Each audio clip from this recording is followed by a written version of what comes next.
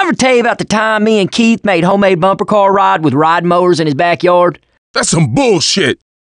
My buddy Keith tried camping out on top of a building. Do that again and I'll come back on you. I ever tell you about the time me and Keith filled up water balloons with our own. Oh, excuse me. Ah! Coach, come on. Excuse me. Cut that shit out. Come on now, Coach, seriously. are you really going to cut shoot a guy shit in a $3,000 suit? Come I'm on. getting pissed off.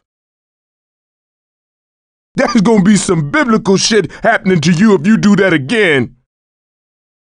I ever tell you about the. Man, I swear to God. You God, do that can't again, and I will worth bury you alive.